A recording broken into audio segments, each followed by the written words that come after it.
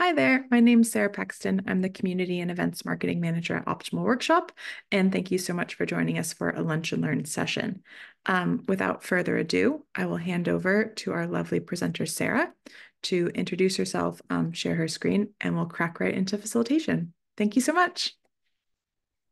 Awesome. Thank you so much, Sarah. Uh, so a uh, bit of an intro to myself. Uh, so I'm Sarah Heimeier. So I'm lead service designer at Prospa. And then I also uh, do coaching, run workshops or training on the side as well. Uh, talking on all things design uh, and service design, any any area. And then today my my key one is facilitation. Uh, so I'll share my screen for you. so what I wanted to start off with was a bit of a, a story in terms of when I was running a a research session and it wasn't really going going to plan. Uh, so I was running a group research session and we had a bunch of other designers uh, who were also helping to facilitate the session. Uh, we had about 10 different customers uh, as part of it and we were trying to understand uh, about a financial advice experience uh, that we were creating and get their feedback on it. And it was quite an expensive day uh, just because we were paying for a full day to, to run this session with these 10 people. Uh, and we were wanting to understand the level of detail that customers were looking for in their in their financial uh, advice plan. So when, when once they get to the end of the experience, you normally get a, a financial plan for you to to basically look through. And we were running the first activity and it wasn't really going to plan. Uh, so we weren't getting the outcomes that we were looking for in the session. We weren't uh, able to to get and achieve those objectives and get the understanding that we are looking for from the participants. And it was basically from the, the structure of the, the activity that we, we had defined. And so we were wanting to, to also understand as part of that was the, the structure of the, the document that we were giving them, like how should we structure it? What works, what doesn't work? And we weren't getting that level of detail, like I said. And so instead of continuing to, to kind of like force the activity to work, uh, what we did was we took a 15 minute break uh, and basically regrouped while our participants had some snacks. So we had some snacks on the side and we were just like, let's take a little break while we figure this out. And this is just one of the examples of why I uh, found being able to evaluate on the spot and readjust and reflect on your outcomes as you're facilitating is super important as part of facilitation. And so it's allowing you to understand if you're getting to the right outcome or not. Uh, so as part of the this session. Uh, I'm going to take us through uh, facilitation. Uh, what do you need to do? How does it work? And then uh, I just wanted to give a bit more bit more context uh, just on myself. So uh, I've worked in design for over over 10 years, over a decade. I've worked on large transformation projects for financial institutions, spoken at UX Australia and, and a few other places, speaking here right now. and so the first area that I really wanted to deep dive in uh, as part of facilitation is what is the, the role of designers as a facilitator? And so your role is really around being a guide, mentor, and also a catalyst as part of the session. So guiding to get to the objectives that you're looking for, moderating the session to make sure that we're we're achieving those outcomes that we worked towards, but then also a catalyst. So posing questions, exploring topics, really deep diving. And then the other part of that, being a moderator uh, as part of the session, is really to create a safe and inclusive environment so that everyone feels like they can share ideas. So if you have really strong voices, uh, making sure that you're sharing that microphone with everyone so that they can all engage. And then the other part is really around helping others to take those risks and share those ideas. So making it, uh, ensuring that you have psychological safety as part of it. Uh, and so what I always love to do, like examples of how I do this and the strategies that that I put in place to allow me to basically fulfill this role is to set the ground rules as part of the session. So how how do we want people to engage during this session? What is the the mode that I want you to be in? Are we coming up with ideas? Are we understanding a problem? What does all of that look like? And then establishing trust build uh, trust building activities. So putting as part of my agenda, if we really if everyone hasn't worked together before, how do we build that trust really quickly as well? And then uh, as part of uh, creating a safe space for people to take risks, it's really important to create a, a, physically comfortable space to really start to foster psychological safety. And so by having psychological safety, it allows people to then feel like they can uh, share their ideas, take those risks, and really work in a way that's that's really ad advantageous to getting the outcomes that you're looking for. And so to create that psychological safety, what's really important is to encourage mistakes, uh, embrace sharing your thoughts and ideas, not having to to double think or or think about them or question them, just being able to share them. There's no right or wrong. So creating that environment and then encouraging to people to share different perspectives as well.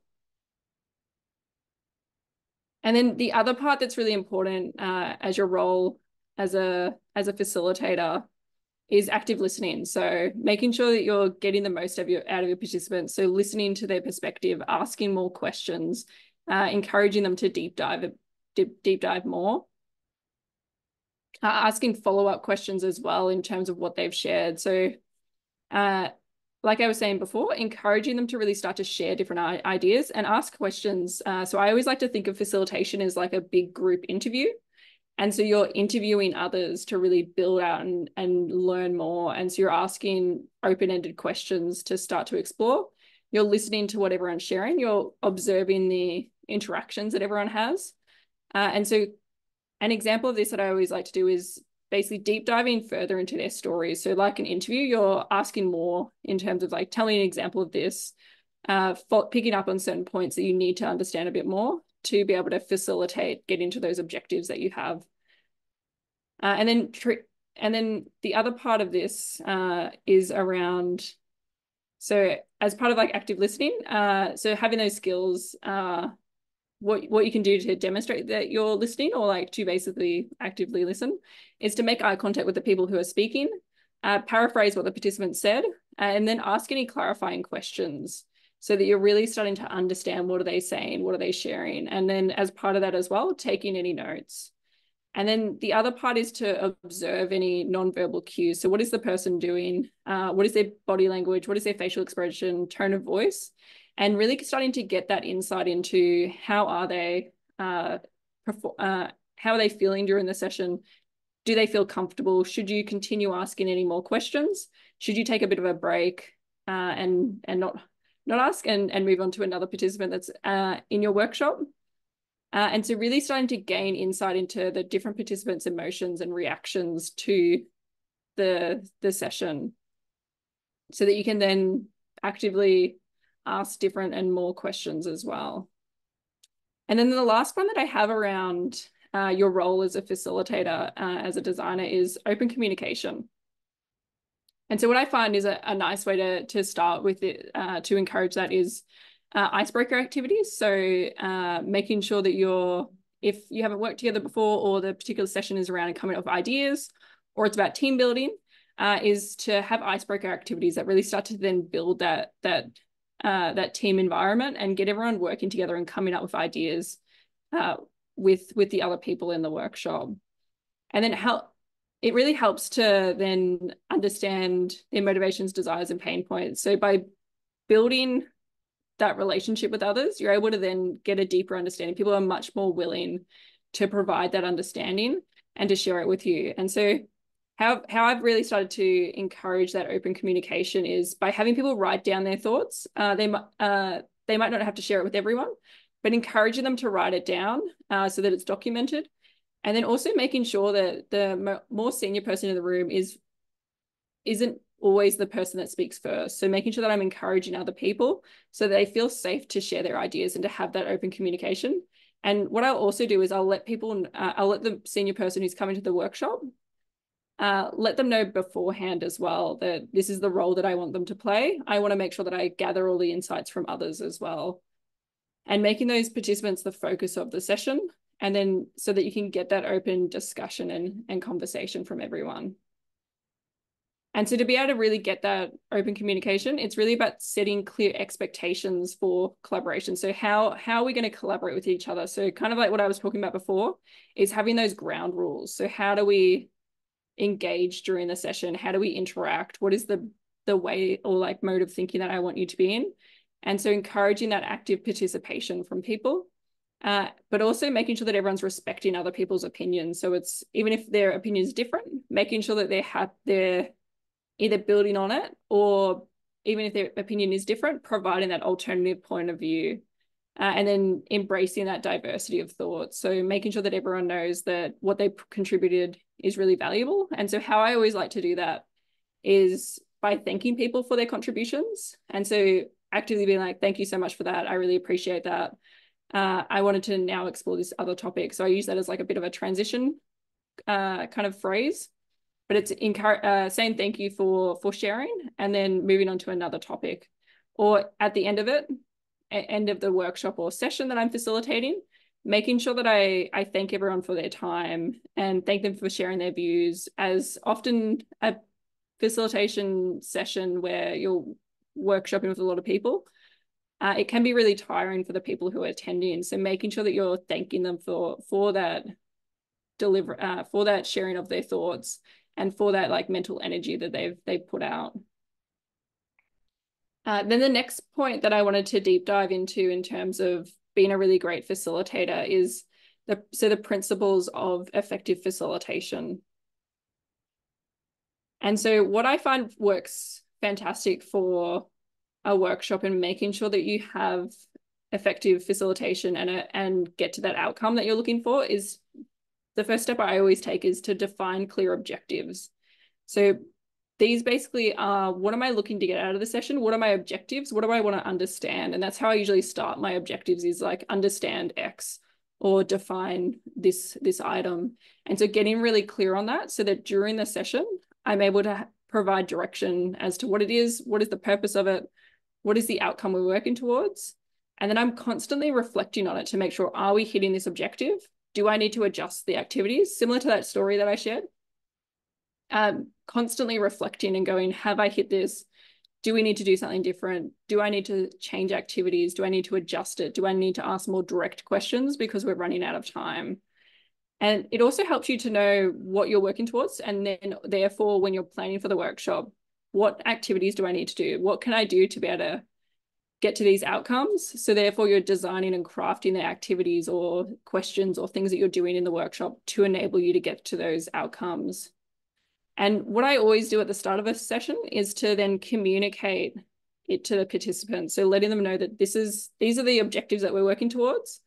And so this is uh, what we're going to be focusing on for, for the session. And then this is the agenda that we have. So letting them know uh, all of the context that they need. So then if I end up closing down conversations, they know why I'm wanting to move us along because we're we have these particular outcomes that we're working towards, these objectives and these agenda items. And it's quite a tight schedule, or we need to focus on these ones. So therefore we'll need to move along and make sure that this is the, the clear focus for us. And I always find that it really helps to then manage those expectations and keep everyone focused as well, because they know what we're working towards and they know why they're in the room as well. So we're all working towards this common goal. And then it's not uh, seen as inappropriate if I if I end up shutting down a conversation or wanting to move us along. Uh, and so an example that I have in terms of when I've defined the uh, really clear objectives is when I was running a session with with our partners uh, that we work with, uh, it's an external team that provides a service to us, is that we were looking at building out and developing that team relationship. And so what I did as part of that was I defined the overall objectives of, of the session. And what we were, really wanted to do was figure out better ways of working. How do we work better with them? What is everyone's roles and responsibilities? And so then we defined all of that. Uh, and then I worked with the, the team member who wanted to have this session on defining those activities to make sure that we were going to get to those objectives. Uh, and then as I ran ran the session, I was basically I had a printed out printout of my objectives uh, and also my agenda stuck up on the walls. And then I had my own version that I was then using to cross off: Have we reached these objectives? Are we getting there? Have we done these activities? Do I need to adjust? Do I need to change any of the time that we have that we spend on this? So that I'm constantly referring to it and making sure that I'm hitting the objectives so that by the end of the session, I know that I've got got the value out or delivered the value that that we're looking for. And so for that example where, where we're trying to build that relationship, we by the end of it, we hit all the objectives. We are able to define everyone's role, uh, talk about any any like elephants in the room that we had in terms of that was stopping the the relationship from moving forward. and then come up with like really clear next steps for us for us to take as as a team and to work with the these partners that we had and from doing that uh, the key reason we were able to to have those really clear things was because we had really defined objectives and we progressively moved throughout them during the session and then, so you have your objectives defined. And then, like I was kind of talking about, creating really engaging activities. So, from the objectives, you're basically using those to then define the activities that you're doing. And so, having those activities, you can then use them uh, to basically help you generate ideas, help you to solve problems collabor collaboratively, or you can even use it to then go through uh, and understand an area that you're that you're really looking for. So either have questions to explore, have uh, processes or research methods that you're using during the session to basically do a really big co-design with people to, to start to really understand an area. And so once you've got those objectives, you're able to easily define the activities that you're going to do to get there. Uh, and so things that I always, uh, some ideas in terms of activity ideas. And so this will depend on the, the, the uh, phase of the design process that you're up to. But uh, say if you're coming off ideas, doing it like an idea burst where you're coming with a bunch of different ideas, uh, a role play of scenarios. So what I would always do when we're role playing services uh, and a conversation is that we'd actually have someone role play that in front of when we're doing a group research session uh, and have two people that were role playing the conversation. Then we'd have particular activities that are associated with that to reflect on it. Like, did it make sense? What what information were you looking for? What was missing from that conversation? And then we'd also be able to see customers reactions from it when we were doing those role plays of the experiences as well. Uh, and then rapid prototyping exercises. So what i always really love to do is uh, say either a card sort or getting my participants to make some wireframes uh, so for the card sort activity how i've done this before is that uh, giving people basically like these are the different components of the design uh, you can adjust them in any way that you want. They can be bigger, they can be smaller, they can be uh, stacked on top of each other as like a menu or something. And giving them all of that so that what they can do is then basically build out and prototype what the experience looks like. And then we can then either create the, the user flow together or it's really just about let's make that screen together and like let's prototype it together and see how it works and then have that discussion point with them. Uh, and then say if you're doing a brainstorming activities. Uh, what I always love to do is like say mind mapping exercise where I'm either getting people to do it individually, where we're deep diving on a particular area and we're really starting to map out how does it work, how, what does it look like, uh, or we're doing it together. And so we're working together to basically build out this mind map and to really start to see how does it work, uh, what are, what is everyone's thoughts on it, and we're crafting it together. Uh, or the other one is uh, so uh, going through and going as part of like say an experience, what would we substitute? What could we combine? What what could we adapt, modify, uh, put to another use, eliminate, or reverse? So thinking about different components of of a, an area and going, what if we substituted this? What if we did this differently? What if we adapted or modified this part of part of the the moment in time? Uh, and you could do this on screens. You could do this as part of like reviewing a storyboard or a journey or a blueprint and really starting to understand what's working and what's not. Or one of the other ones that, that uh, I find works really good in as part of facilitating workshops is um, say the six thinking hats. Uh, so this is where it gives you a way to look at problems in different ways. And so you're basically putting on these different hats or you're getting your participants of the workshop uh, to each have this hat on as you start to say analyze or get feedback on uh, something you've defined. And it might be where you're deep diving on a problem, or it might be that you have the solution, like we're putting on these different hats to, to start to explore it. And so the different ones that they that there are is the like conductor's hat, uh, who's basically like conducting the session, uh, the creative hat, the um, hat for the heart, uh, the optimist hat, and then the judge's hat. So you're putting on these different hats to really start to explore what's what's happening, and they're providing these different critiques rather than from their themselves and their own position. It's providing these different ways of thinking and ways to think about it, and so it helps you to then have this different activity to then be able to facilitate this alternative way of thinking with everyone. And they're not just coming from their own role as well. They're being able to provide insight by basically putting themselves in a different position. And you can even do this where uh, instead of using those hats, you're using different roles potentially. So say you might have someone that, that works in your financial control team, uh, getting them to put on like a customer's hat or getting them to put on like, what if you were a salesperson, how would this work? And getting them to start to explore from different people's perspectives as to what might be some of the problems with what we've come up with, or what are your thoughts on, on this experience? Uh, and so the key elements around defining those activities that you have is uh, is really about promoting engagement. So you you have a session with multiple people, so you really want to get them engaged. You want to get them to think differently. Uh, you want to uh, like basically get people to start thinking creatively and thinking about uh, different ways to do things.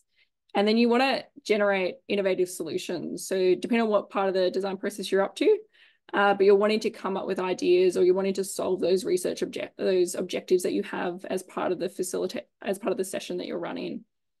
And so making sure that those activities are kind of touching on either one or like multiples of these, or it might be uh, all of them at once, depending on the type of session that you're running.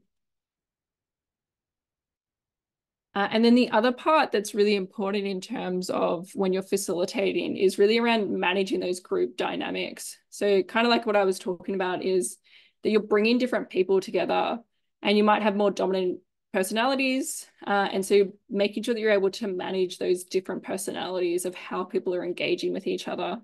Uh, and how do you put things in place so that you're providing strategies for people to uh, to not have dominant personalities take over the session to make sure that you're allowing everyone to participate. Because the thing is uh, if one person's just sharing all of their thoughts it's not really a, a workshop or a session that you're facilitating. It's it basically becomes a one-on-one interview. And you want to remove that. You want to make it something where everyone's able to engage and share their thoughts. Uh, but the other thing is is that you want to make sure that you're not having just group think. So say if you have a dominant personality and if it's a, a senior leader that the people, other people in the workshop report to. Uh, you don't want them to just agree with that person. And so coming up with ways to reduce reduce that and encourage people to to share in different ways as well. So what I often like to do is to get people to write down their thoughts. So having them to basically uh, on a post-it note or on a Miro board on their own post-it note, write down uh, a response to this or come up with their own solution. And then we'll share back and I'll ask some questions. Other people will be able to ask some questions in a in a cap time period. Uh, and then the other part uh, of managing group dynamics is if there's potentially any lack of participation. So if someone's not engaging, they they might be playing on their computer.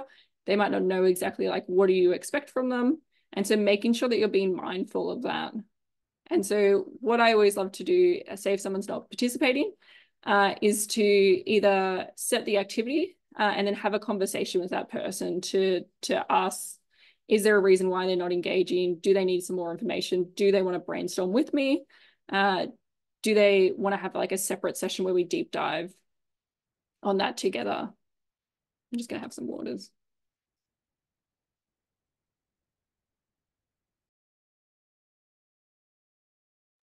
No i'm loving all the the gifts at the bottom. Um makes it lots of fun. that was the best part of putting it together.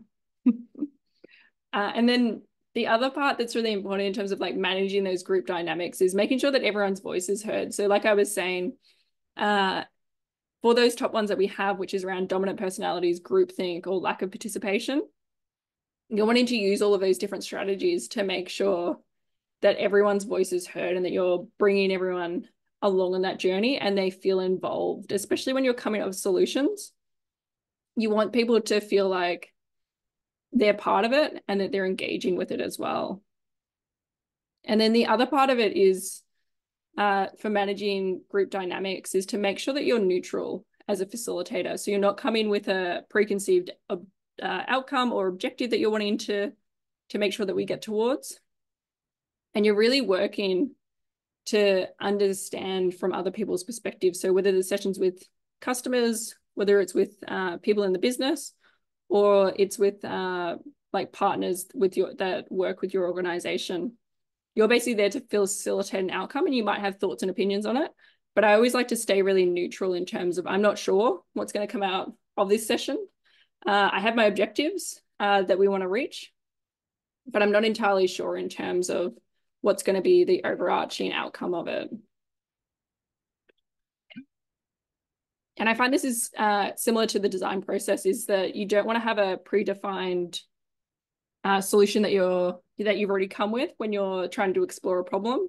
And it's the same with facilitation. You're wanting to be really neutral in terms of what you're doing and not guide or direct people to a solution that you've already defined. Uh, you're more guiding them towards achieving those objectives of this session. And then uh, as part of the managing group dynamics, uh, focusing on a common goal as well. Uh, so like I was talking about, making sure everyone's across uh, what is the objectives of the session, what is the uh, agenda of it, and we're working towards this common goal together. So making sure that we're all working towards and know what we're doing. And so uh, like I was sharing before, what I always love to do for this is to basically define at the start of the session, this is what we're doing. This is the objective, this is the agenda.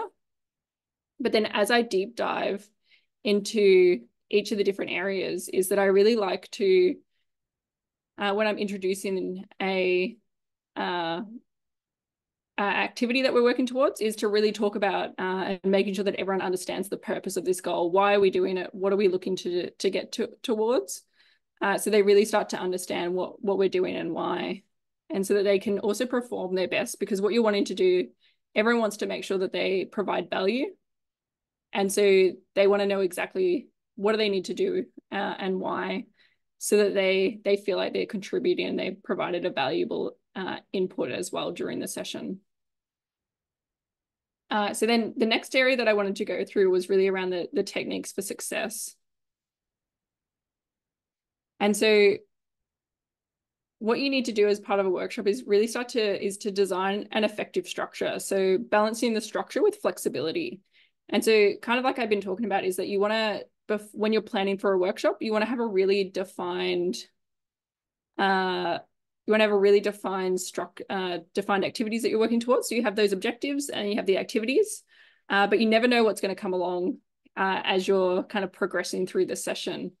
And so being able to balance and know that you're going to need to work on, uh, think on your feet. And so going, I have this structure, but I'm also flexible to changing it. Uh, so you have that framework that you've defined and also a clear agenda. But I always love to to go, this is what I've got. But if I need to change it, I'm open to um, adopting a different way of doing it, uh, to be able, being able to think differently. If an activity takes longer, then I might need to adjust how uh, how long some of the other activities are taking, or I might need to reduce them down to make sure that I still get to those objectives. Or it might be that I need to actually run two sessions. Uh, and it, and the other part of this is to really start to go through and know that uh, if there is like an elephant in the room, that means that you can't work past it, then it's also calling that out and going, uh, is this necessary for us to solve, for us to be able to, to basically get to these objectives that we're working towards at, at during the session. I find that really valuable when you're working with, uh, when you're doing an internal workshop, because that's usually when they'll they'll come up. Is it either something's come out that we actually realize that actually we need to pause, solve this, or clarify our understanding for us to be able to move on and do the do the other things. And it might be how I've had this come about before is say when a project hasn't, uh, the scope might not be have been like fully refined yet. Uh, and we need to solve that so that we can then continue with ideation to go, uh, is this in scope? Is this out of scope? Can we continue coming up with ideas based on this area? Or do we need to adjust and change? So instead of pushing along the session, taking that pause and clarifying that, and then potentially having another workshop or session with people and then coming back to it. Uh, and then some of the techniques that I really like uh, like to use to help with uh, having that effective structure and making sure that, that it goes in uh, that it's delivered well as part of a workshop is time boxing what we're doing. So going, this is gonna take this long. Uh, I sometimes will overestimate with like five minutes, so then I have enough time for discussion uh, because like it's not a really good workshop if no one gets to talk. and they just have to write everything down. So you want to be able to have that conversation, uh, clarify any of your questions, have everyone come along that journey and understand what other people are thinking so that it might uh, direct or guide their thoughts as well. Uh, and then the other one uh, I always like to do, kind of like what I was talking about, but it's like agenda hacking. So as I'm going through the session, uh, if something's taken longer, I'm then adjusting and like writing down if I have a, a, printed out version or a physical agenda, I'm adjusting my next activities to go, oh, I need to take five minutes off this. Oh, this one took longer. So therefore this one, this other activity might take a bit longer. And then another way of uh, kind of helping with this is whether you incorporate breakout sessions uh, to keep your participants engaged and focused as well. But also so that uh, if you're short on time, especially if it's a short project, to allow you to get more done during the session. So you might send people off on different adventures and activities that they're doing and then they come back and share their thoughts with everyone and then other people are then invited to share their thoughts on that. They haven't taken part in that activity but they're you're able to also then gather other people's thinking and ways uh, ways of solving that problem or thinking about that area as well or providing their insight as well. Uh, and then you can have each person do that so you're able to get a bit more done during a short time period uh, and then the other thing that's really important is uh, if time starts to get away during the session is to be okay with making those adjustments or calling that out during the session that we actually only have this much more time. So we either need to move a bit faster or we need to acknowledge that we're going to spend the rest of the session doing this. And then we might need to have another, another workshop together. Uh, and then being clear, therefore, we're not going to meet all of these objectives. Uh, what's more important for us uh, as a team and what do we want to get towards? And so I'll usually do that more during like internal sessions rather than customer ones, uh, just because like uh, they're able to help guide that uh, rather than customers being able to guide that. Uh, if it's a customer session, then I, I will just make the call myself. I'll go, uh, and I guess how I do that is how I structure the objectives or activities that I go. Um, I'll make sure that I get my most important ones done first. And then if I miss out on the bottom ones, then I'm okay with that or I've or I have a way or I come up with a way to to be able to adjust that. Uh, so I've talked a bit about this one, but I think it's really important uh, to kind of discuss again, which is the facil facilitating diverse perspectives. So making sure that you address those power dynamics uh, and using some different tools to be able to do it. Uh, so I always love to do that by creating a welcoming and respectful environment. So like I've talked about those rules of play, like how are we going to engage with each other? What are we going to do? Uh, and also making everyone feel valued and heard. So it's the role of the facilitator to like make that eye contact, to acknowledge what people are saying, to thank them for their thoughts and to encourage that environment. So I always like to think that you bring the energy and you craft the energy for the session to make sure that everyone wants to engage and be part of it. Uh, and so an example of this uh, is say during a session, uh, I've had people that uh, someone's speaking up and they're like overpowering others. And so I always let them know, uh, I, always try and pick up on that like straight away uh, and let them know the way that I want them to engage. I'll be like, you've actually interrupted this person. I would like, uh, I want to actually finish hearing their thoughts. Uh, happy for you to note that down and then we can address that later. And so once you've done that, I always find once I've done that the first time, then people start to know that this is how we're going to engage during this session. And so making sure that you're setting those expectations and you're reinforcing the behavior that you're looking for during sessions. And so I had someone that did that uh, during one of my first workshops. Uh, and then I've had multiple workshops with them following that and they haven't done that again. So since I've set those expectations of this is how we engage and this is the rules of play of how we run workshops and how we position and how we we're a participant in the session, then people usually know for the future sessions, this is how I engage. Or if I have a thought, I'll note it down. Uh, or if it's a topic that gets really big, then I'll often go like, let's put this in the parking lot as well.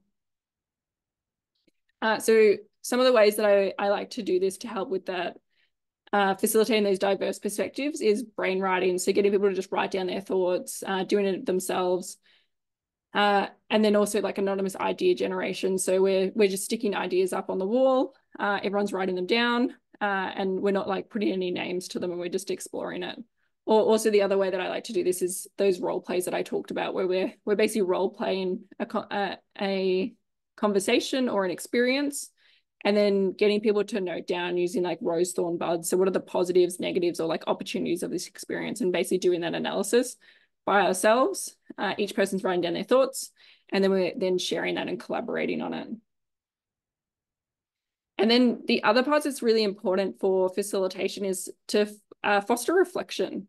And so reflecting uh, on what uh, what worked well, what didn't work well. And so what I always like to do is as part of a, a uh, workshop or something that I'm facilitating, I always like to run my own retro for myself to go, what did I do well? Where can I improve? What can I do differently for next time? And so basically understanding what am I going to change for my next area, uh, my next workshop? What do I want to do differently? How can I make this a better session? And then the other part is as well, is to go, uh, what areas do I want to work on as well? Like, did I run out of time? Was there certain conversations that, that de derailed it? Uh, that I, I didn't pick up on, or was there certain behaviors that were happening in the workshop that I, I want to make sure that I'm more aware of next time? And so reflecting on like how you were as a facilitator, how did like the activities go? How was the engagement and really understanding that? And I always like to do it like a start, stop, continue uh, to understand what are, what can I improve basically. And what you can do sometimes as well, if it's like early on running the workshops, is that you could also have like a facilitation, uh, like a debrief with uh, after you run a few get people's thoughts who have attended it like what did they like what didn't they like what are the, some of the areas that they think that you could improve on as well and start to understand that so uh, i just wanted to recap in terms of uh, what have we covered uh, in the session so there's quite a lot uh, so the role of the, the design of designers so making sure that you understand your role as a facilitator making sure that you're actively listening creating the environment that allows people to do their best work or to be them, their best selves to share their best ideas. Uh, the key principles of facilitation is really defining clear objectives, creating engaging activities, and then managing those group dynamics as well. And then techniques for success uh, when facilitating is really designing an effective structure. So making sure that you're going to get those objectives achieved uh, and making sure that you're uh, you're able to to basically be uh, able to adjust and you're happy to to make changes to get to those objectives or make changes based on the timing of activities. Uh, and then facilitate diverse perspectives. So making sure that you're able to gather gather other people's thoughts. What are they thinking? Uh, making because that's a pur purpose of facilitation and running a workshop is gathering all of those different thoughts and ways of thinking. And then fostering reflection, uh, foster reflection. Uh, so making sure that you're reflecting on how did the session go? Where can I improve? How can I get better? Or what are the things that I'm doing really well as well? Uh, so that you can really start to hone and craft and adjust how you work as a facilitator and how you make your sessions really good. Uh, so uh, what I wanted to do was go back to that initial story uh, that I was talking about where we weren't getting those outcomes. Uh, and we weren't going to get the the right outcomes of how like what is the structure of a financial advice plan that the customers were looking for uh, so when we came back from that break so we had about a 15 minute break we basically during that time we came up with a new activity for them uh, and then within 15 minutes so we time kept ourselves we're able to basically fulfill our research objectives uh, and answer the questions our stakeholders had by basically taking that pause and overall uh, that day of research was a massive, massive success. We are able to achieve all of our research objectives, gain the insights that we needed to be able to deliver a better experience and to also create a new way of delivering a financial advice plan. And so by having that, that moment of pause uh, and not panicking and not continuing to try and make it work, we're able to get to the outcomes. And so what I learned from this is the, uh, like the points that I shared today, it's important to continually be reflecting during your facilitation. Are we hitting those objectives? Are we getting out what we need from the session? Uh, how is this actively getting us towards the outcomes? Are we getting there? Uh, and so to be able to do that, you need to be actively listening and being able to improvise on the spot and make those changes on the fly. And so you need to be flexible to changing and adjusting as you go through. And so making sure that you're happy uh, and comfortable with change and, and some of those like spontaneous adjustments that you need to make. And so the quality of the insights and the outcomes that you get from sessions is only as strong as the facilitator's skills and how they're engaging during the session and how they're running a session. And so as a designer, it's essential you're a really good facilitator to be able to lead the team and guide them towards those outcomes as it's the really it's basically the cornerstone to really starting to deliver exceptional exceptional and really impactful outcomes as as you work through different workshops and as you work through like more complex problems. Uh, so uh, thank you so much uh, for coming along. Uh, if you want to, you can also scan the QR code. I have, um, you can connect with me on LinkedIn, uh, but I also have like a little power up that's help that I've put together that kind of helps you to basically get your designs delivered, uh, which is super fun. Uh, I think there's like about five or so there. Um, so the last one that we have is uh, basically questions from the room. Yeah, so we've had a few pop up in the chat. Um, the first one is from Naz. Um, how could we navigate different stakeholder archetypes in an ideation slash co-design workshops, like different familiarity with the design process and level of value or influence they might have on the project? Yeah. I always find um, I always like to reflect on who are the participants. I might stop sharing my screen. Uh, I always like to reflect on who are the people that I'm inviting to the session. And so therefore who like, should I have a different person? Uh, like, should I have two sessions where if there's people who are more familiar, should they be part of one session or there's certain expertise? Like, do I want to deep dive with them? So how I'll often sometimes run my workshops is um, I'll have a one that's specifically with our risk team, uh, where I'm deep diving on there. What are they doing? How does this work? Coming up ideas with them. Uh, I have one with our, our sales ops team uh, where I'm really deep diving and, and getting those ideas. And it also kind of depends on the, the time frame that you have as well for the project. Uh, but then if it's have have if I have people who have different levels of influence, uh, I always like to either have that conversation beforehand if I know that they're, they're potentially going to be a dominating stakeholder during the session to talk a bit about like this is what we're looking for during the session uh, and talking through with them to let them know that like I really want to get their ideas, but I want to make sure that everyone's heard. And then also like with familiarity to the design process, I always like to set that context at the start of the session to go, this is what we're doing and why. And sometimes you don't even need to refer that this is part of the design process. It's just like, this is the outcome that we want to get towards. So we want to improve this part of the experience. So what we're going to do today is come up with some ideas together and really framing and going through that to go, this is how we're going to do it. Uh, and this is a methodology that we can use or like a way for us to do it and come up with those ideas together because we're all the subject matter experts in this on this topic. Awesome. Thank you so much. Um, Sue has um, how to navigate scenarios where people that feel shy and are introvert um, who might not feel comfortable uh, sharing their thoughts in a workshop with a lot of stakeholders. So how do you kind of cater towards um, those personalities? Yeah. Uh, so the way I really love to do this is to uh, like like I was talking about, where you get people to write down their thoughts. So if someone uh, doesn't feel comfortable sharing their thoughts, uh, I'll, I'll always make sure that I gather them. So either I'll spend some time with them while everyone else is doing the activity, chatting to them in terms of like, what do they think? Uh, if I've noticed that they're not sharing as much, uh, I might uh, pick out different people to share their thoughts and ideas and just see if they're comfortable sharing them. But I'll always give them that time beforehand to write down on a post-it note, like, uh, we're exploring, exploring this topic or I want you to answer this question. Uh, I'd love to get you to write that down. So then I always have their thoughts at least documented as well. And then if I do need to, sometimes what I'll do is uh, if they're not happy sharing during the session and I need to gather a bit more information as to like, what did that post-it note mean? Uh, then I'll book another session with them to, to have that one-on-one -on -one conversation if they didn't feel comfortable uh, comfortable speaking up.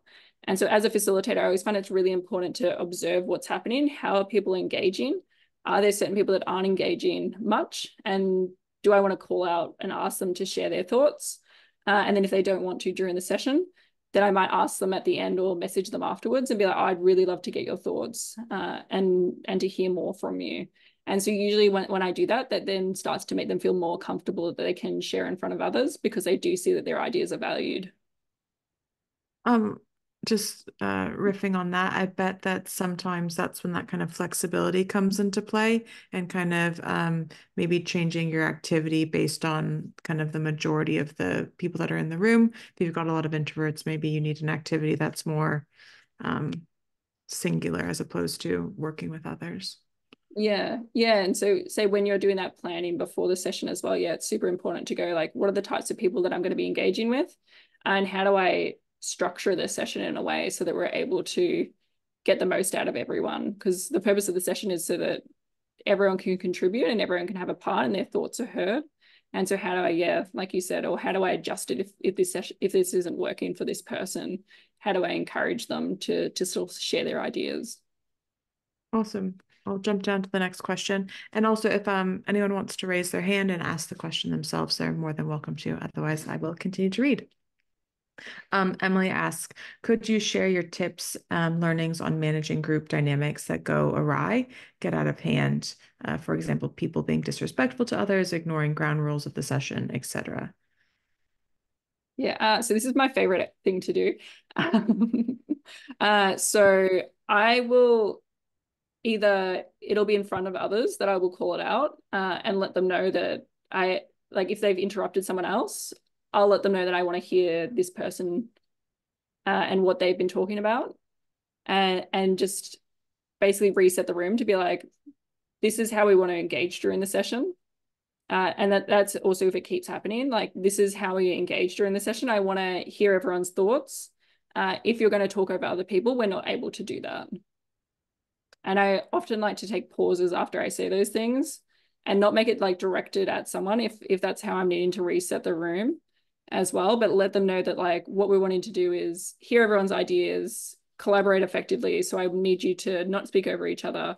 Uh, I want to make sure that we we get to the objectives that we're looking for. So often I'll bring it back to it's not just on me. It's like the purpose of this session is that we get to these outcomes. And so therefore, if we're not going to be able to hear other people's thoughts, then we're not going to be able to achieve the session. And I will have to have another session uh, for us to be able to do that. And if they continue to ignore the ground rules, I will continue to call call them out for this uh, during the session, uh, or I will ask them that like actually, like this isn't working. Uh, I either need I need you to just basically write down your thoughts uh, so that I can really start to engage with everyone, and then I'll have a conversation with them afterwards uh, about how, and basically give feedback in terms of like constructive feedback to go. Uh, during the session, you were interrupting or over, talk, uh, talking over the top of everyone, uh, which resulted in us not being able to get to the outcomes that we were looking for. Uh, in my next session, I'd, I'd really appreciate it if you'd wait till uh, someone had finished speaking to share your thoughts or document them down so I can get to them. Or I'm happy to have a separate session with you where we can really start to deep dive if this is an area that you you really want to share your thoughts and opinions. And so also giving them that opportunity to share it in a different way as well. So if they're going to speak over other people, it might be because they feel like they haven't been heard before. And so then giving them another avenue to, to be able to share their thoughts. Thank you. I'm going to jump down. So hopefully we get um, one question answered um, from everyone. Um, Sarah Roberts, I actually had the same question that I jotted down in my notes, so keen to hear the answer. Um, have you found that certain activities work best for neurodiverse people if you aim to create an inclusive environment? I was thinking in terms of um, maybe dyslexia or autism and um, yeah, how you kind of cater for like overstimulation perhaps. Yeah. Yeah. So I always like to um so if there is like anything that is like a bit too chaotic. Um, and I think that's why like breakout rooms work really well, especially if you're in in person as well, is like having people go to different areas to discuss different things. So that it's not like there's so much noise happening, there's so many things happening as well. Uh, and then also those ground rules as well, that it's like so that we're not interrupting each other, that we're making sure that we're hearing each other. Uh, so there's not too much background noise or or anything like that. And then the other part as well that I find works really well is like allowing people to to share in their uh, in a way that works for them as well. Uh, so it's not like we all have to note down our ideas. If you have a different way that you want to do it, or if you want to do the activity in a different way, like let's discuss and chat as well. Uh, and then also from what I always like to do as well is, uh, so say when I have, before I have, like if it's an internal one uh, that I'm having, like being able to observe people as well, like how do they share their ideas? How do they talk? So how do I structure and make sure that the workshop's going to work for them? Uh, and then if it's like a, a customer one as well, is making sure that I give those op options for us to engage in different ways. Uh, if it's going to be a group session with customers as well. So it's not like you have to write it down. Uh, some people might not like that. They might they might prefer typing.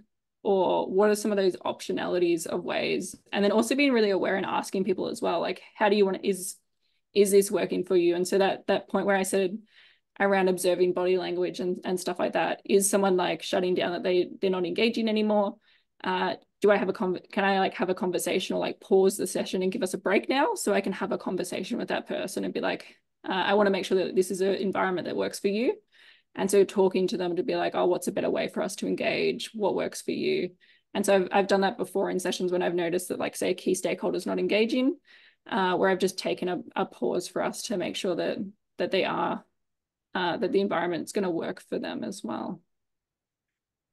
Um, have you found that there are ways to kind of front foot some of those uh, concerns? Like, would you potentially ask stakeholders um, before the session even started or as you're kind of in that kind of planning and ideation phase um, consider some of those yeah yes risks? yeah so i think yeah especially the um i spend like quite a lot of my time uh so i think like sometimes like the session might only go for an hour but like i'll spend most of my time like the pre-prep like if you plan the session really well then it, it allows you to like flow into the session really easily and like run it really well. But yeah, having those conversations with stakeholders as well to find out like what's uh, what's the best way to engage with them, what works well for them, and like understanding from them so that you can then add that to how you run the session with them.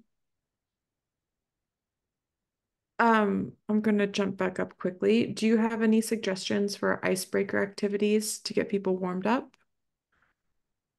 Uh, so icebreakers, I always find um, either like a drawing one's really fun or like a, a funny question mm.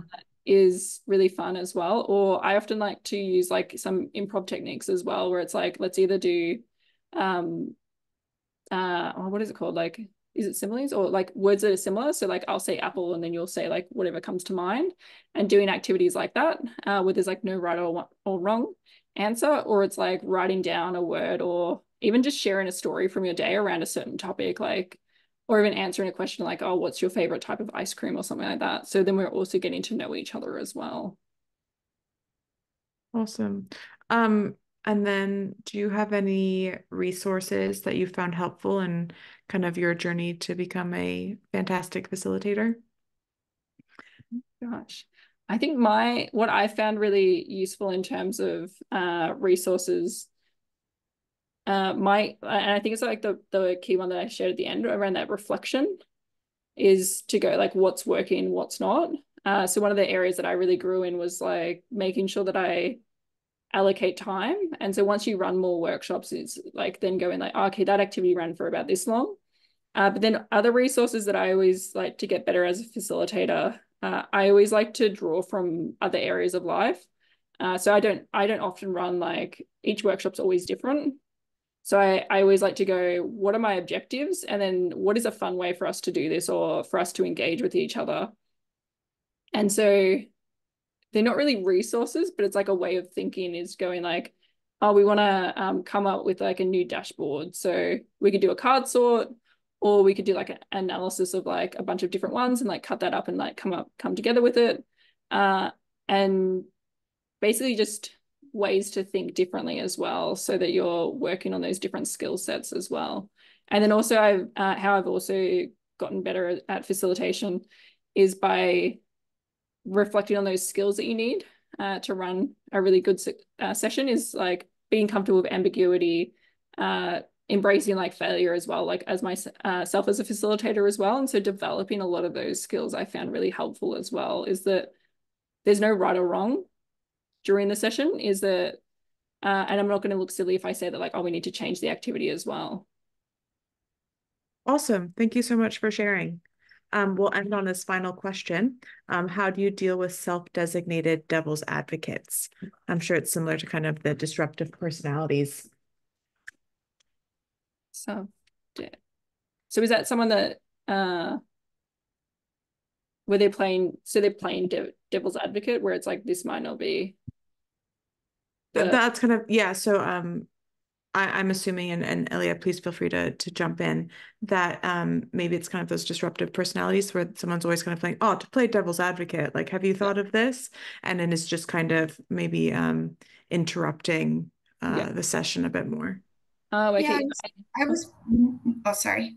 Please. I was more getting at the people that they're not disrupting, they're not like talking over people, they're not stepping out of the rules of play but everything they say is shooting down somebody else's idea or mm-hmm. saying like oh here's the reason that won't work. Uh, okay. No that makes more sense. Um, thank you for that. Uh, so uh, what i like to do there is basically go uh, i always like to have a session um, that is more around i'm just going to share that link uh, for everyone uh, is that my the session is really around like I like to build like and and I, a lot of the stuff I I build from for my sessions is like from improv. So it's like I want to be yes and. Uh, mm-hmm. So it's like how do you be yes and instead of no but or like yes but. And so then it's like well what if we flipped that? And so how do we make that like flip that into a positive and and go this is like either coming back to the the purpose of the session is that we want to come up with ideas. It's less about solutions right now how do we come up with new ideas for us to generate like a better experience? How do we uh, how do we make this more of a exploration of this and making it more towards that rather than the negativity? And so i always like to yeah basically call that out and go like well actually we're coming with ideas during this session uh, and it's less about facilitate uh, uh, functionality or uh, technical feasibility. And so letting them know basically that like that's actually not the purpose of this session is to come up with that. And so I want you to think in this way and letting them know that I need them to actually adjust their thinking and the way that they're coming up with ideas uh, rather than it focusing on like the negatives. We are technically over time. Um, so I'll leave it up to you if you'd like to answer the final question um, or uh, we can end it here. Uh, which one's the final one? The results driven? Yeah.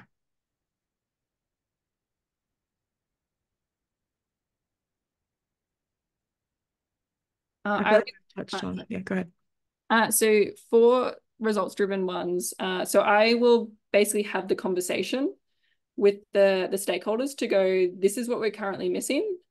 Uh, so either I'll synthesize what we got from the workshop and I'll go, this is what what we learned from it, but there's like gaps in terms of this. And then this is the reasons why, like you said, like lack of, lack of engagement. Uh, when the session, like we weren't able to achieve these objectives and letting them know that we'll need to run another session to better get to those outcomes. And then checking that like based on the timeframes that we have, does that like can we adjust the timeframes can we do something different am i able to get these people sooner especially if they're like uh, uh, what is it called? Like eh, busy participants that I'm trying to book in and like they're not available to next week. Is there a way that you can like work with their managers to make sure that I can get with them soon catch up with them sooner? Uh, and then I'll also set reset the expectations during that workshop again is that like oh we need to catch up again uh, because we weren't able to hit all of our objectives during the session. And so making sure that it's really clear in terms of communicating that to everyone and making sure that everyone's on the same page like especially those results driven like leaders and stakeholders uh, and if timeframes are really short going that we need to do this to be able to get to those outcomes uh, and that they're on the same page as to why. And then also I'll have like say conversations with people. Uh, I'll either send an email, send a message to let them know that we're having this other session uh, because of these reasons. So I'd really like to make sure that we hit the objectives in this next one. Awesome. Thank you so much um, for sharing and answering all the questions and also uh, clearly running through uh, the facilitation. I definitely learned a lot, um, uh, which is uh, so great. Um, yeah, thank you yeah. so much. I appreciate it. I had lots of fun. Good. Um, again, please, uh, I'll stop the recording